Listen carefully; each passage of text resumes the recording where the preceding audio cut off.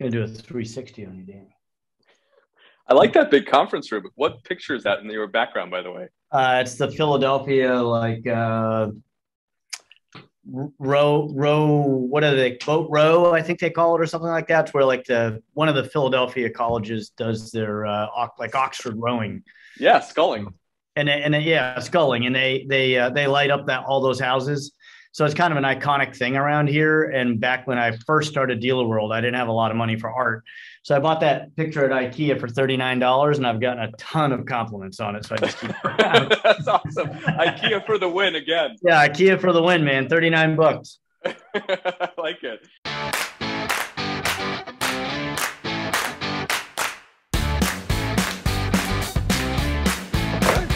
It's like a real Michael Godard over on the other. Uh, I don't know if you know who Michael Godard is, but uh, one of my favorite artists.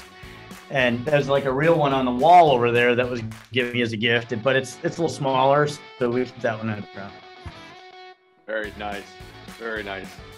I think we are uh, live on Facebook, but we are waiting on um, uh, some attendees to uh, to show. Okay, cool. Uh, so, uh, Troy, thanks for thanks for being here, man. Yeah, thanks for having me. Where are you right now? Uh, I'm in my office at in Lehighton. Okay. And uh, we have uh, a couple of work from home days for people just because uh, we're lucky that we're able to work that way. Um, so we have a rotating schedule, and Tuesdays, uh, nobody here. Oh, that's kind of kind of nice. Everybody, chance in the middle of the week, so you don't have to fight the crowds if you got something to do too. Yeah, yeah. You know, it's worked for us. Uh, we won't go down that road too long, but as we're kind of waiting for for people, I'll tell you that I was, uh, and I know you're a little bit like this, I think, but I, I, was really against like work from home for years and years and years. Like I fought it and fought it and fought it. And then when COVID hit and we kind of had to do it, my team kind of proved to me that they were capable of it. So now I have a flexible in and out schedule. So we do meet in the office. We do have work here days. We kind of keep it, uh, you know, lighthearted and, and a, a bit of a rotating schedule, but it's working. Good. Well, we've got some folks joining. Uh, so Arnold, hello. James, hello. Julie, hello. Thanks for thanks for being here. So uh, we call this VinCue Accelerate because there. I think that um, the way to grow is to have uh, good mentors around you. And uh, Troy, you you continue to be one for me, and I and I hope I can provide some value to you as well. But beautiful, my friend. it's just crazy, right? Because it's we we get to be a part of this uh, ever changing industry right now that feels like it's it's moving 100 miles an hour.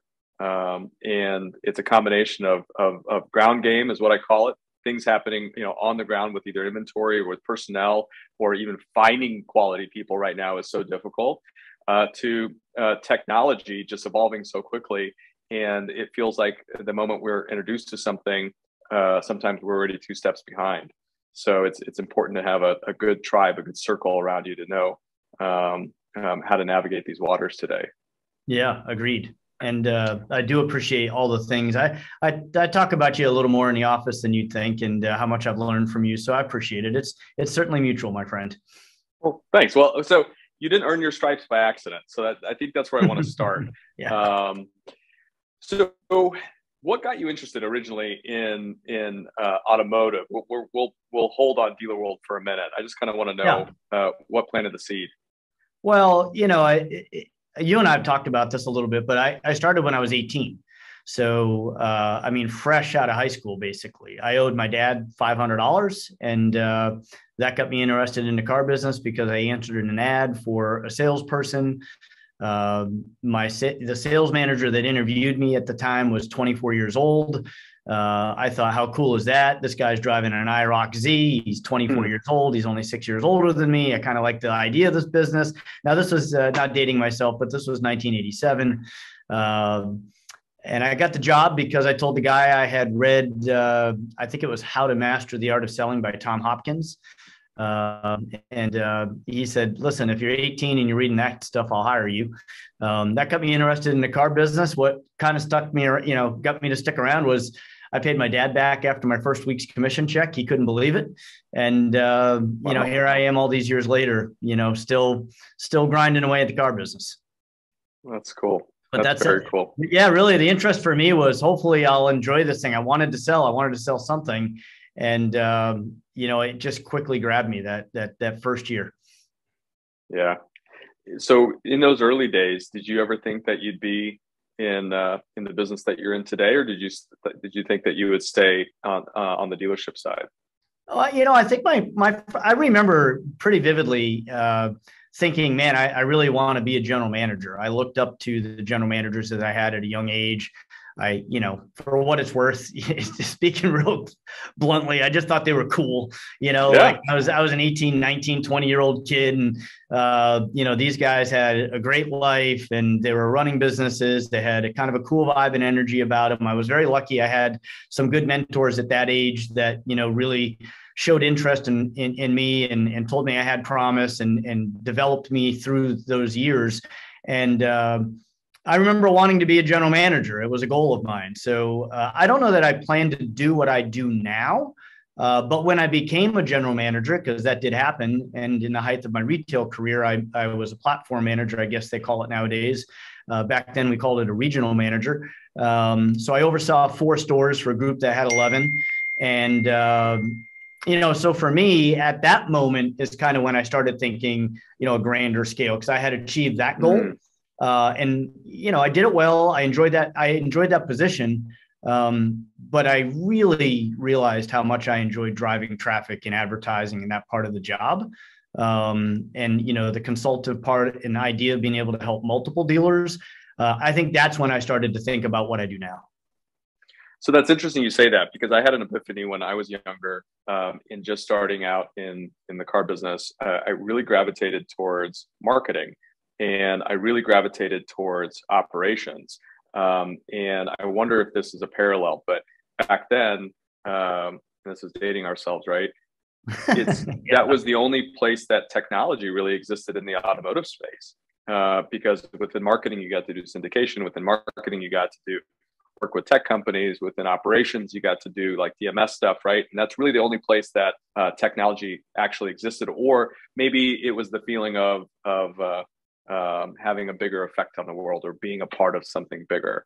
Uh, and you and I have talked about that, right? Yeah, no doubt. And and you know, it's funny you say that about technology. You're right. I mean, uh, you know, I think that enough time has passed. And uh, by the way, I'll, I'll, I'll caveat this by saying I believe that I'm still extremely relevant in today's world. But uh, I did yep, start. I agree. when we faxed in credit applications. Um, yeah. I did start at a time when my sales manager didn't have a computer on his desk. So, you know, we could go on and on about the things that we've been through. Uh, you know, the first time somebody mentioned Google, uh, I was already selling cars for a number of years. Um, you know, so it's just interesting these things that we've gone through. Yeah, no, no doubt. Yeah, and that, I, I think I know that's a strength for you. That's a strength for me, and it's a strength for all the people that have been through that and continue to, because that that shows resilience, that shows a willingness to change, a willingness to grow, a desire uh, that to know that what got us here won't get us there. So, uh, and and and I think um, uh, that's how you run your company because I am also a client of Dealer World at Country Hill Motors. Yeah, very so, much appreciated. By the way, yeah, and, and my my team absolutely loves uh, loves working with you guys. So, and that's also that, mutual. yeah, well, and so that was when when you and I first started talking about uh, bringing Dante and my marketing team along with yours, the first thing you told me was, uh, "We're not linear." Uh, what did you right. mean by that?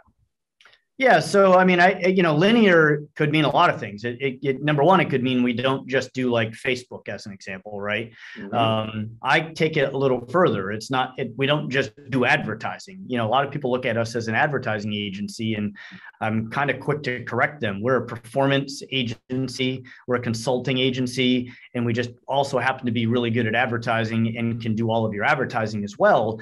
But I think a lot of what goes behind the advertising has to be the decision making of, you know, what's right for you, what's wrong for you, what do you need to do, where are you going to get the best ROI? You know, uh, like as an example, of our clients, you know, they'll want to do everything, and you you know how it is, you get it. I mean, uh, it's not unusual for me over the years to sit with somebody and say, "Well, we got to be on radio, we got to be on television." You know, heck, some of my some of my buyers are still in the newspaper, and I got to do Google, I got to do Facebook, I got to do OTT, I got to do this, I got. And you you sit there and you go, "Well, well time out," you know, and and your budget's X. You know, I won't pick on a number. Right. Your budget's X, and so for us, being a non, what I'd like to call a non-linear company is we've had clients where you know really only one of those verticals is truly all they needed because the money that they had to spend in the budget was best spent on that one thing dominating that one thing and you know allowed us to move the needle at the store without being in all these other places where they thought they had to be. Um, you know and and being a flat fee agency i think is part of being you know non-linear so to speak because you know we don't we don't take you know any kind of commission from any media. So you know at the end of the day you know i'm not getting radio television google facebook money or anything. So we don't care where a dealer spends their money. It's it has to be a wise decision of spending it where you're gonna get the most results. I know as a dealer uh, early on I, I used to call it witch's brew because there was uh, either the people i were working with didn't understand the the technology they were using to place my advertising, or they weren't allowed to talk about it. So I always felt that there was this uh, curtain between what my spend was and how much was actually going out into the world and being effective. And so the fact that you say you guys are flat fee and you're all about strategy first, you're all about results first. Um, I mean, it's why we work together. So, and I think there's uh, been a movement towards flat fee. You know, I don't know that we're that yep. special anymore in that lane, but I can tell you we pioneered it a little bit. Um, you know, in the days, especially when we were doing heavy uh, radio and television, and we still do a ton of radio and television for what it's worth. Um, you know, that that department really is built out and the creative and and and and what we do there is is still extremely uh, successful for dealerships across the country, but you know, when you look at not getting a fee for that, when you're not taking 15%, like we took on a client one time, spent $100,000 a month on radio and television. It's $15,000 that their old agency collected as 15%. And our fees were nowhere near that number. And we were doing Google, Facebook, everything, you know, combined. So it really was about, you know, how do we help a dealer uh, be more profitable? Uh, there was just no reason to take fifteen thousand dollars a month on a hundred thousand. And you know, there's some people out there that might listen to that and get mad at me because they're still taking it. Yeah, there's there's no reason to pay that, and you don't need to. Yeah, yeah, that's very smart. In in uh, the dealers today, at least I encounter uh, that I work with through VinCue, are either they they come to us or they come to you and they say, hey, just do this and we see the results. And then there's others that say, I want to know how this works because um, I want to be able to also have control over my business. Are you finding more dealers are getting to be uh, one way or the other? Do you find that they're going to be more involved in technology, or are you finding more that they uh, come to you and say, "Hey, handle"? This? You know, I, I, love the movement that there is more uh, people involved in technology. Um, I, I, wouldn't say that it's a blanket statement across the industry yet. Um, you and I kind of travel in these circles where you know we see each other a digital dealer, and that you know mm-hmm. brings in a certain you know dealer that thinks a certain way, wants to learn things, want, maybe has an internal marketing team, even you know wouldn't need a company like ours because they got four, five, ten dealerships or whatever and built that internally. Uh, and I even say don't need, you know, wouldn't need us full time, like maybe more consultative there. Um, but uh, I, you know, I don't think it's widespread yet, and I think that that's a mission that I'm on uh, a little bit right now. Is the dealers that don't think that they need the data and the decision making um, you know the intelligence the, the, the you know the wiser spends and really diving and understanding you know where an ott buy might make sense where you know why to be on facebook why to move to text messaging why to change that cta button to not a lead form but to a conversational conversion like i feel like there's a there's a movement for for people like me uh, that that we we need to go out there and help those dealers. Because what you said earlier when we first started is you know technology is changing the business is changing it's changing we feel like it's going 100 miles an hour and it really is. And I, I, I genuinely feel that if some of these dealers don't make those moves they're going to get left behind. As you know i say this all the time when they start to have more cars than customers again which will happen mm-hmm. sooner than we'd all you know think even if it takes a year i think when that happens there's going to be a massive massive shift in business Um, so I'm on a march, you know, Danny, uh, you know, to go out and and push dealers to, to to be thinking at that higher level. So that's that's a good segue, and this is where I think uh, now that we've kind of laid the um, a little bit of of what you guys do, uh, the business today. So today, technology is is, and I'm going to put on my dealer hat for a minute. Technology is coming to me um, uh, through uh, calls that I get via, you know, through my business you know, solicitation. I get um, um, either 20 groups or, or other fellow dealers that are that are doing things that uh, are areas that I may want to improve. But ultimately, it kind of leads to the same question, which is as a as a business, right? As Country Hill Motors, I want to be relevant in a year, and three years, and in five years, and I want to serve the needs of my community, and I want to do it in a way that um, allows me to um, connect in in in what many call uh, less friction, right? So, do you think that um, uh, in today's world, if if I was going to start in one place, um, where would that be? Would that um, be in digital retailing? Would that be in marketing? Would that be in my people? Where, where do you where would I start um, from your perspective? Okay, so I'm going to back up just for a second and say that the people should already be in place. The culture should already be there, right? If you're a really well-oiled machine and a, a strong business, and and I like to think that most of the time when I get compliments about my company, it's about our staff. Um, you know, we just we have a really good hiring process. We have a really good culture. We've got a great team. So I'm just going to kind of leave that for me, as I feel like that's a baseline. Um, yep so, well so said. people, yeah, for sure. But I, I'd like to think that most people have that one under control. You know, a place to look. Uh, I'm going to start with the website, and it's funny because it's something that you and I've kind of talked about, and where we'll start, you know, with you guys even. Um, I think the website's really important because in our industry, um, tier three, independents, etc. We all have a website provider, and I'm not picking on website mm-hmm. companies because I want to be friends with everybody. But you know, yep. it's a different it's a different model, right? Some of these companies have 4,000, 5,000, 7,000 clients. You know, and so when you're a tier three branded auto manufacturer's dealership and you've got a, a website provider that's got 6,700 other clients, you look at your website and then I beg of them to start looking at the disruptive sites. And disruptive sites, I mean Tesla, I mean Carvana, CarMax, Vroom, Shift, Lucid, etc. These are companies that have a national presence, but they have one website, right? And that one website is managed by a team that maybe has more employees than their entire dealership. So I kind of beg of dealers to say, hey, if we know that, you know, 99.5% of people do some sort of research and land on your website prior to coming to visit you or whatever that number is. We know it's high. That i would look at that website experience and i would start thinking about how you work with your provider with your agency with your internal marketing team to to take those platforms and and revise them in a way that's really relevant to today's consumer because I'm telling you right now, as sure as I'm sitting here, there is a difference between how those those those websites make you feel, how they interact, how they convert to as compared to a typical dealers tier three automotive site. So yeah, you know, sure. there's a big movement to move to digital retailing. Well, I don't know if you need to move to digital retailing. Let's talk about your market, your client. Yep. But there is a movement right now to say make your website more relevant and to put a put a, a an exclamation point on that for you, Danny. Think about the organic traffic that lands there. If you have 10,000 visitors, 5,000 visitors, whatever size your store is, you have this opportunity to take all of these uh, visitors that are landing on your website right now and make a, a, a better experience a better converting experience a, an experience that makes them feel that you're in the game that you're also relevant that you're not behind the times. And i think that's really really important right now. We're seeing some conversion rates when we do these these kind of site overhauls.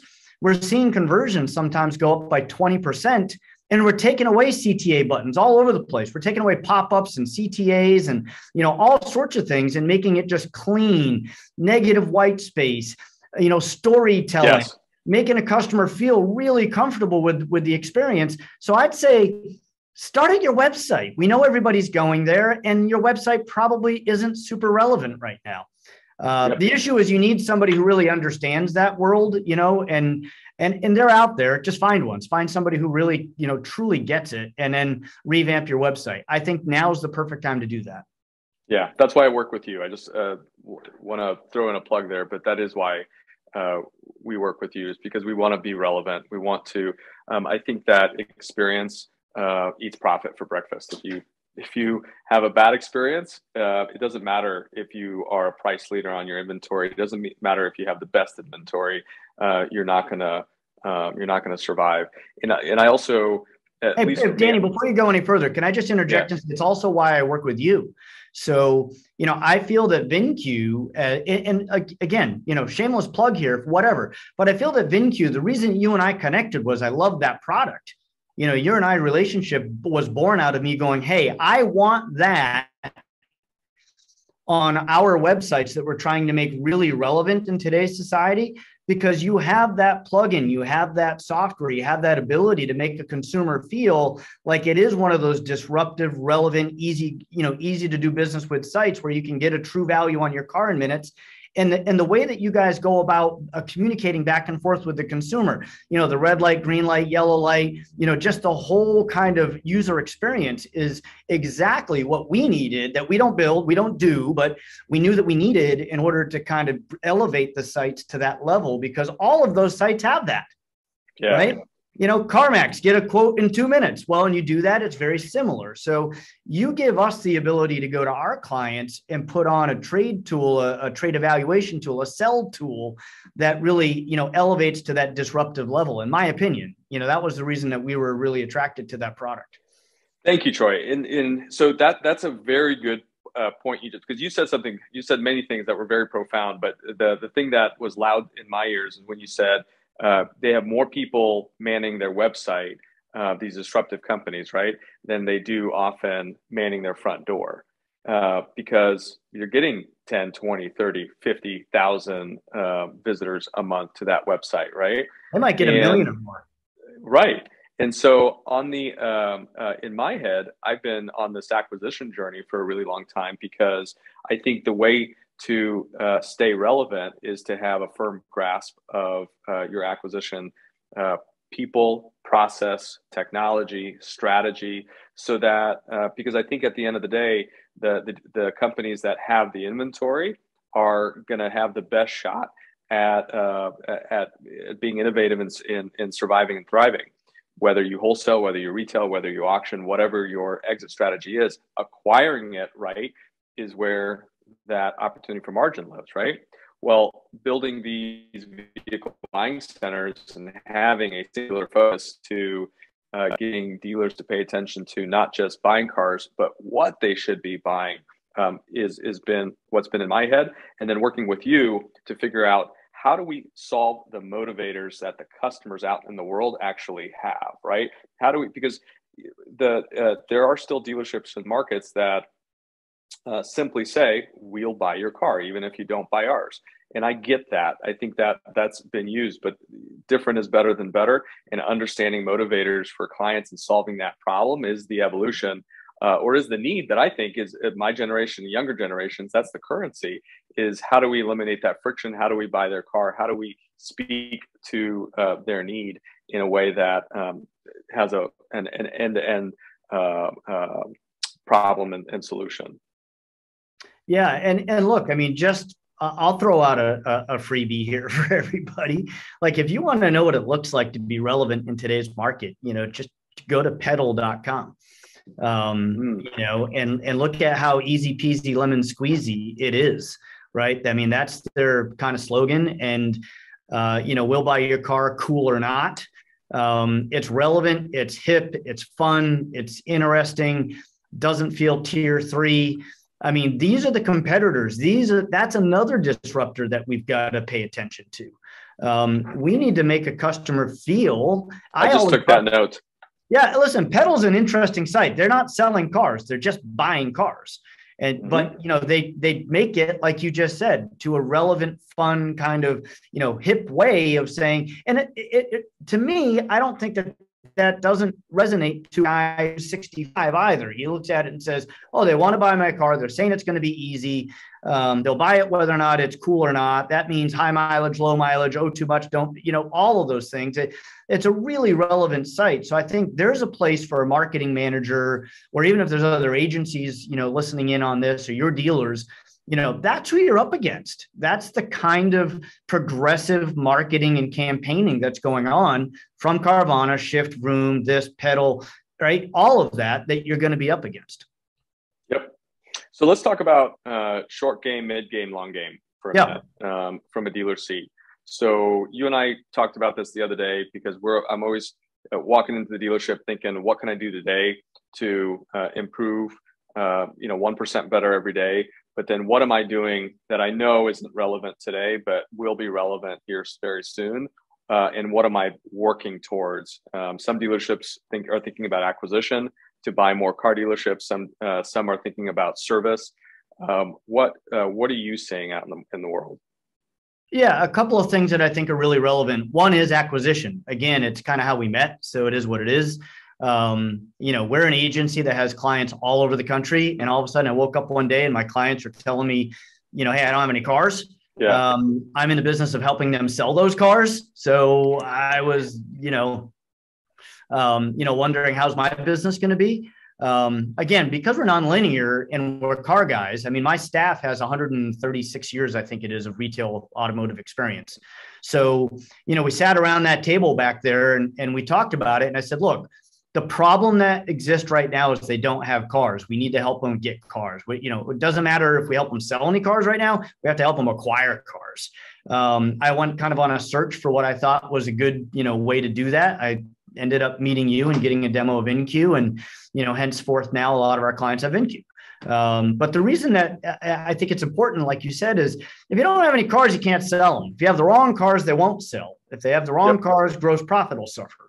So, you know, I felt like it was a good uh, play for us to make a lot of introductions to you. And I think because of, uh, and again, I don't care if they use VinCue or not. I hope you don't mind me saying that. Just like you probably don't care if somebody uses us or not. It doesn't matter. What I care about is that the dealer has an eye and a focus on acquisition because if they're not buying cars and they're not doing it in a strategic way and they're not filling their lot with cars then there's nothing to sell. And that's going to hurt. Listen i that's people too. If you don't have any cars to sell not only is the net profit of that month going to hurt you're going to lose employees. You're going to yep. lose you know retention rate's going to be horrible. Then you got to then when things start ramping back up again all your good people left to go someplace aggressive. So i felt a kind of a fiduciary duty for all of my clients that have been with us for years um, to kind of step up and be that voice of reason and say, hey, you've got this problem. We're focusing on it. Here's a solution. And you know, again, VinCue for me was a part of that acquisition strategy.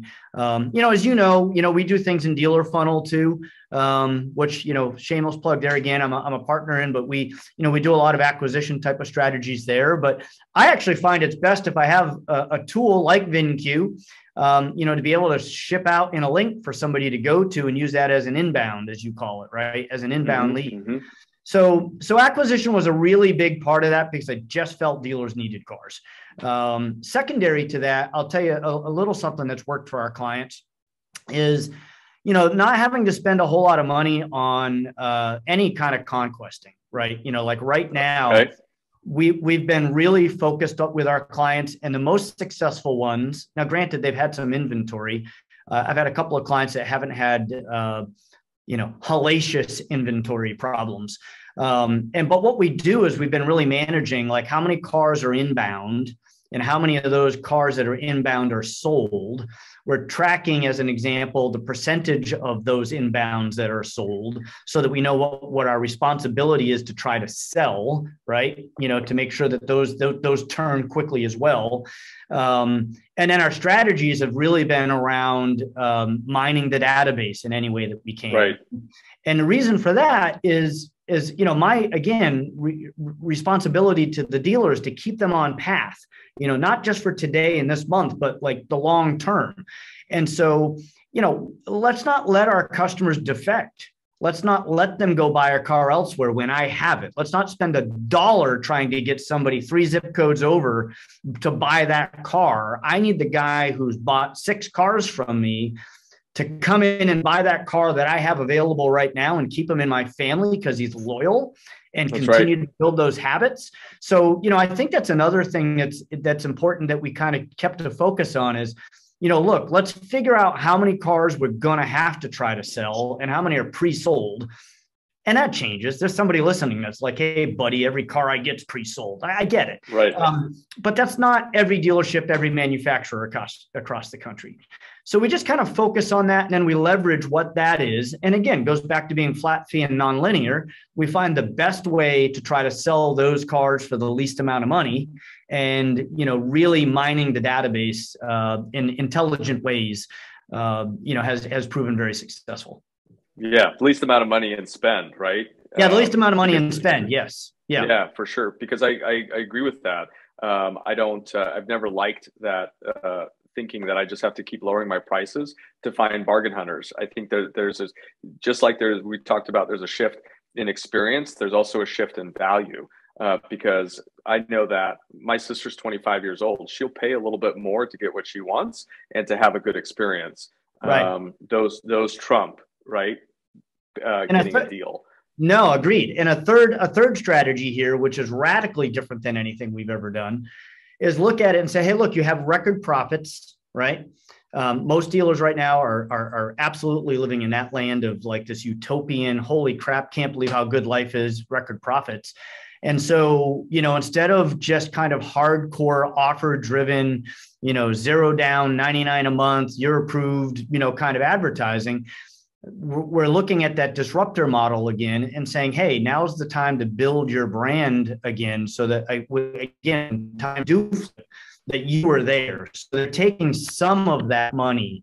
Um, you know, some of them, not everyone, you know, again, not this is by no means a blanket statement, but some of the aggressive stores really look at it like, hey, now is the time to go out and and, and really kind of buy our market and build brand, become top of mind, um, and kind of disrupt the disruptors and also take advantage of you know the the, the sleepy guy who's not continuing to build his brand during these times because they yep. feel and i think they're right they feel like when times flip again that you know hey i'm going to be there i've been there i've told my story and my brand's going to be strong and, you know they're not taking all their profits but they're taking you know 6% and throwing it back into branding Exactly right. And I do think that's really smart. I, I, I, really do. No matter how many cars you need to sell, don't sell, have pre sold, don't need it. You know, continue to build your brand. You've been in business for 10 years, 12 years, 50 years, 100 years. You know, keep the brand, you know, out in the marketplace. I think that that is important. Yeah. No matter what your brand is, whether it's buy here, pay here, whether that your brand is selling new cars, used cars, whether, uh, you know, you, you appeal to the audience um, that you have earned uh, over time based on on on on your dealership and your experience. So, where do you think you and I talked about this a little bit uh, with electrification? Um, we started buying and selling electric cars about five years ago. We started really thinking about it. Uh, obviously, started with uh, um, hybrids, but then plug-in hybrids, and then electric cars, whether they be Volts and Teslas and so forth. And we found that that's the way we could get into that space, whether it be through educate ourselves in service, uh, because we would buy these cars and we'd figure out how to service them. And then we figure out, okay, what can we do from a customer perspective, uh, not just internal, to stay relevant in that space. Um, I'm not on the new car side. What is what's your feeling with uh, electrification and how that's going to change uh, the the showroom as well as the service department? Well, I mean, I think you start to look at the logos of some companies, you know, Kia, General Motors, the, you know, Nissan, even, um, you know, and, and the likes. You know, heck, we just redid our logo, um, you know, as a as a vendor. So uh, I think it it kind of starts there, where you realize there is a very big shift going on in the world that's accepting where we're going, and you know, where we're going is an interesting place. Uh, you know, when we spoke, I remember saying to you uh, you know, look, people are going to have to get ready for the fact that a car doesn't need an oil change; it needs a software update. Um, and we can all sit there and shake our heads up and down, right, and go, "Yeah, you're right." but what does it mean to a family business and again you know i exist as a company and we have since day one you know to help dealers that need help if you don't need our help then we're not a good fit but you know i want to I, I, exist to be a company to help dealers that need help and i think they need help understanding that because look that's that that means there's no mpi you know, the right. car in the driveway at the house getting a software update doesn't need an oil change. And what have we been teaching and preaching for years where, you know, we're, we're working on fixed absorption, right? And we're saying, hey, I want I want to get my fixed absorption to 100%. And what was the typical way we always taught that? Like, let's get the car in the lane, put it up on a lift, do an MPI, yep. you know, yep. red, yellow, green lights, you know, this needs to be replaced. And, you know, even when I was a GM, I used to tell my people, like, you know, look, I never, ever, ever want you to sell somebody something they don't need, but I want to make sure that no one ever leaves that should have bought something that they do need. So right. we're going to get awesome at MPIs, you know, but again, don't sell for the sake of selling, sell because it's, you know, yellow about to turn red. Right. But I think that that's going away. So when you talk about electrification, that's one thing. Another thing I think is, is, is a big uh, change is this goes back to kind of the website and the relevancy thing these consumers i mean it's just a, it's just a different mindset it's a whole different way about doing business how they go about the transaction uh, they probably are a little bit more digital retail-esque um, i just think it's a really different mindset and a different experience that they're begging for throughout that process and if you don't give that to them no matter how good your electric car is I don't think they're going to buy it. I think they're going to go right. buy the experience. I mean, if you think yes. about it, less and less and less. Buy the experience. That's that's exactly that's that's going to be. They're going to buy the experience. They're you know, buy the experience. They are because we're taking away moving parts. I mean, physically taking away moving parts uh, you know, back in the day when I first started in the car business, I, I, remember like in that 1987 place, I was at a Chevy store and a guy would walk in with a, a, a Ford hat on and, you know, a, some guy in service would be like, what's that stand for? Fix or repair daily? what are you doing here, pal? You know, and, right. and so we're taking away the moving parts that cause that brand loyalty, right? Think about i mean if i can't tell you that the engine in a ford is better than in the engine in a chevy and a the engine in a toyota is a better than an engine in an x we're taking away that whole brand experience and they're going to have to like the car like the look believe and but they're going to buy the freaking experience. They're going to say it's cool to drive that car that's what's going to drive them. It's cool to drive that car. And I no longer need to listen to my dad or my grandpa tell me that that engine isn't worth a crap.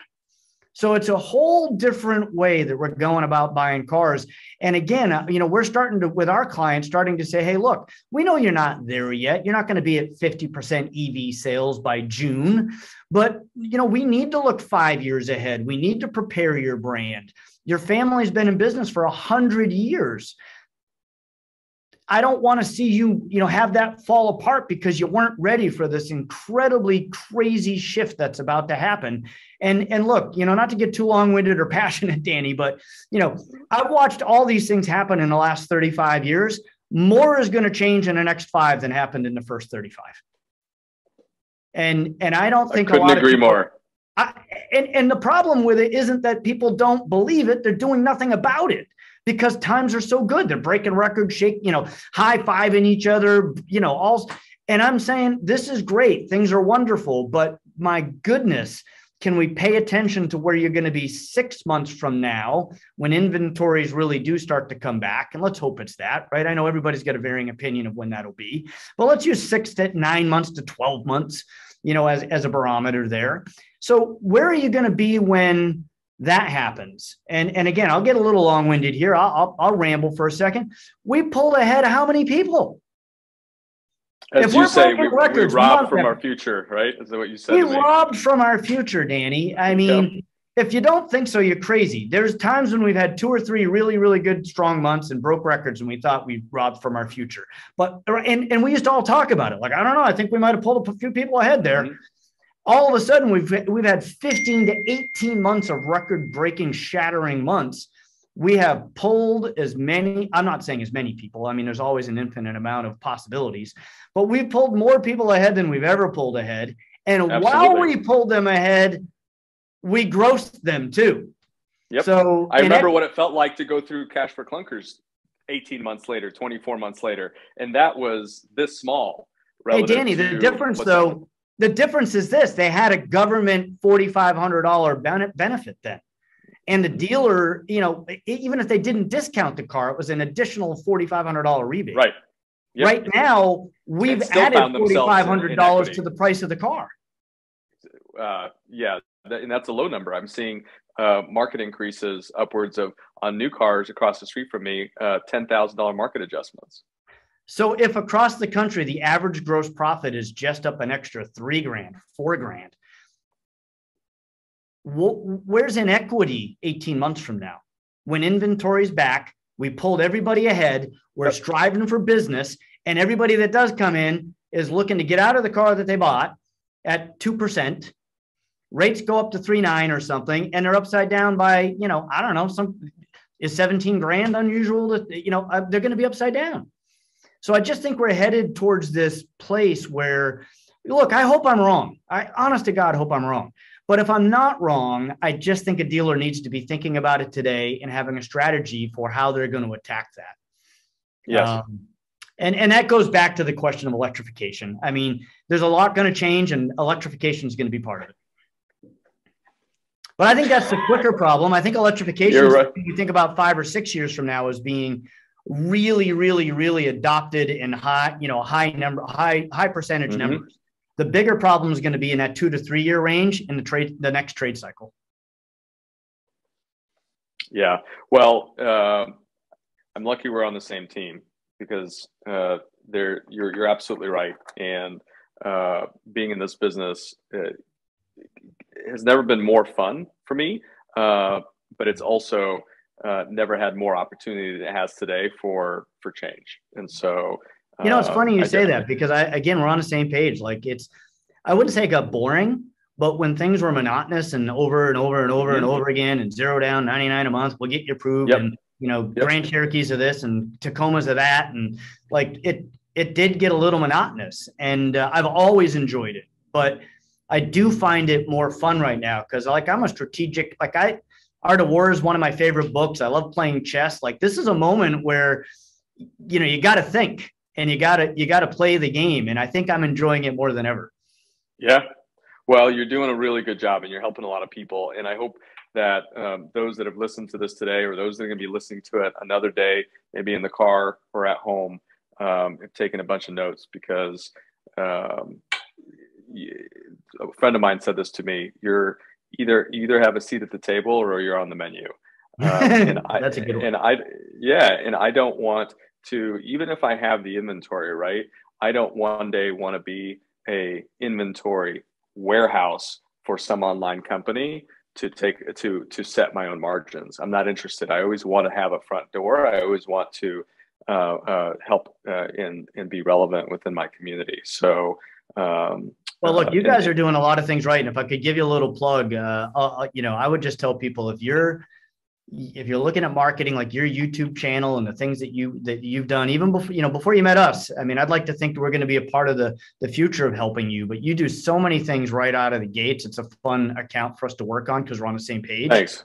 And I think anybody who, you know, wants to kind of see what a dealership, you know, operates, looks like, feels like, should mystery shop Country Hill Motors. I hope you don't mind me throwing that out there because, you, you know, Please do. 'cause I think we're on the same us on our page to help people be better. But I think Yeah. people should shop your store and and get a sense of what you're doing and look at your YouTube uh, channel and and just kind of see what that vibe and energy of that store is because you guys are definitely on the right path. Thank you. Well, with that, um, Troy, thank you very, very much for spilling your heart here. Um, one of my questions uh, to end with was gonna be uh, what makes you happy, but I feel Yeah. like you've spent the last 45 minutes answering that question. Hey, you know Uh, what? I'm lucky. uh, I'll answer it very quickly. Um, I'm really lucky that my wife knows who she's married to, um, because uh, my fa- my family is what makes me happy. Uh, you know, I have kind of a family business. My two daughters work with us. My sister-in-law works with us. My mother, you know, it's no secret. I don't hide that from people.